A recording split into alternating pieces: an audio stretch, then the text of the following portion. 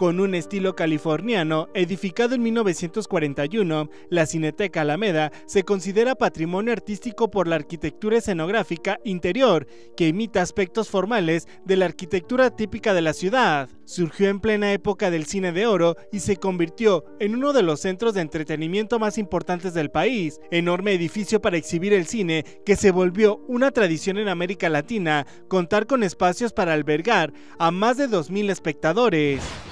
Este cine en particular, el cine Alameda, pues se creó bajo esa tendencia, ¿no? Aquí estaba también en la Avenida Visterama, en México estaba el Cine Teresa, o sea, en casi todos los estados de la República había cines muy grandes. Sin embargo, fue en los años 80 con la llegada del video cuando estos cines dejaron de resultar atractivos.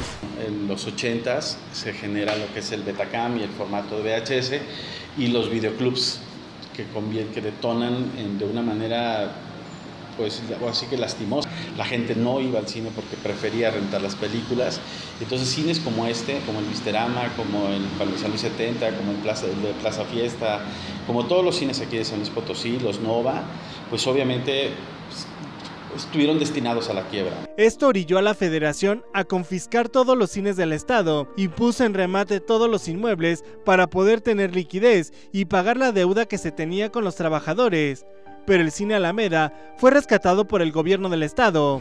La idea original del gobierno en ese entonces era que este cine fuera la sede de la Orquesta Sinfónica. Pero la federación cede en comodato el edificio con la condición de crear una cineteca, ya que este es el único inmueble en todo el país de estas dimensiones que se salvó de ser vendido.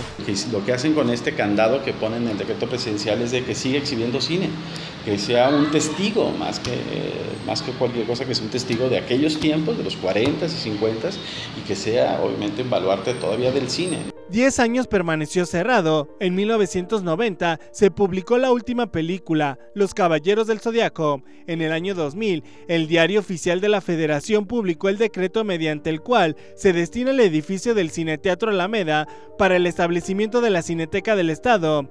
Se remodeló y adecuó el inmueble y es hasta 2009 cuando se convierte en Cineteca. Actualmente es sede de varias muestras de cine y se presentan diferentes espectáculos, festivales festivales, asambleas y se realizan otras tantas actividades. Para Global Media, Miguel Ángel Lucio.